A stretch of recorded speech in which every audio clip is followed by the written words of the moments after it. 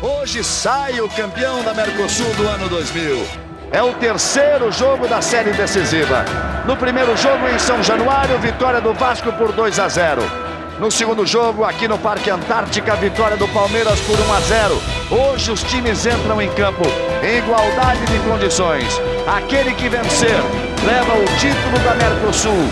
A maioria que eu encontrei depois aqui no Rio, no shopping, na praia, 3x0, a gente desligou a televisão, nós fomos dormir. A gente perdendo de 3 a 0 a gente sendo massacrado é. na casa do Palmeiras, né? Geralmente o time que sai ganhando de 3 a 0 ele se fecha ou vai ser 4 ou 5 para ele. Nosso time nunca tinha tomado 3 gols no primeiro tempo. Não lembro, pelo menos.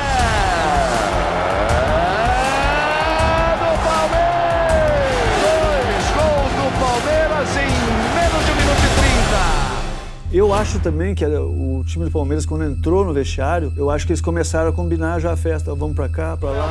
Três para o Palmeiras, zero para o Vasco. Talvez ninguém imaginasse que um dos dois times pudesse sair com três gols de vantagem. Nós tivemos um ambiente de velório na hora que nós entramos no vestiário, né? A gente tinha uma confiança muito grande, né? E a gente não acreditou no que estava acontecendo. Um olhando para lá, olhando para cá, pensando, cara, não pode. Cabisbaixo, o Gel Santana falando, gente, calma, vamos ter calma, vamos ter calma. O Romário falou, o time que nós temos não, pode, não podemos perder, tomar três gols assim. A palavra do Eurico foi fundamental, que depois do Joel ter falado, ele deu uma chegada no pessoal, a gente, a gente vai voltar para lá. O nosso foco agora é fazer um gol. A situação foi colocada dentro do vestiário. Se eles podem fazer três gols em dez minutos, nós podemos fazer também três ou quatro gols em 45 minutos. A gente falou mais ou menos isso, para a gente ter calma, tranquilidade, que a gente não estava ali para passar vergonha. Voltamos, logo com 15 minutos nós fizemos um. O Vasco diminui, três para o Palmeiras, um para o Vasco e o Vasco vai para cima. E a gente foi ganhando forças, conforme os gols foram saindo, aí assim, a gente, a gente perdendo de 3 a 1 em campo, eu falava assim, é, eu sentia que a gente já, já tinha ganho o jogo. Romário de pênalti de novo, o segundo do Vasco. O jogo vai ficar dramático no Parque Antártica. Mesmo nos 3 a 2 a gente tomou o cartão vermelho ali com o Júnior Baiano e a gente conseguiu virar essa situação. O Vasco aperta, o Vasco tenta, Romário tenta bater. Olha a chance, a bola batida entrando. Sobrou para mim porque eu tava lá na área. Né? E bate na, na perna esquerda do Romário e ela vem parecer, parecer um passe. Teve momentos, momentos na minha carreira, mas acho que esse, essa explosão desse gol, acho que eu é, foram um dos poucos momentos que, de, de, de, assim, de muita alegria na minha carreira. Tudo igual! Que jogo, amigo! Primeiro tempo do Palmeiras, segundo tempo dá 3 a 0 pro Vasco.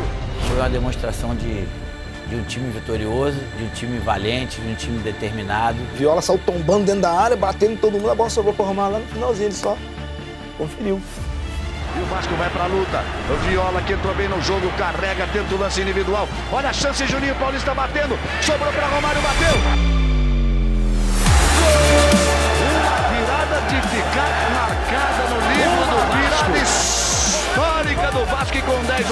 Jogadores. Uma loucura assim.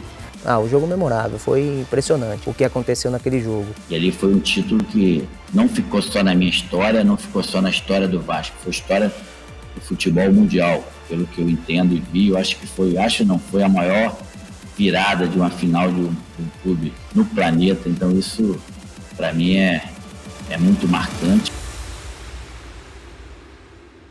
Vamos todos cantar de coração. A cruz de Malta é o meu perdão. Tu tens o nome do heróico português. Vasco da Gama, tua fama assim se fez. Tua imensa torcida é bem feliz. Norte sul, norte sul deste Brasil.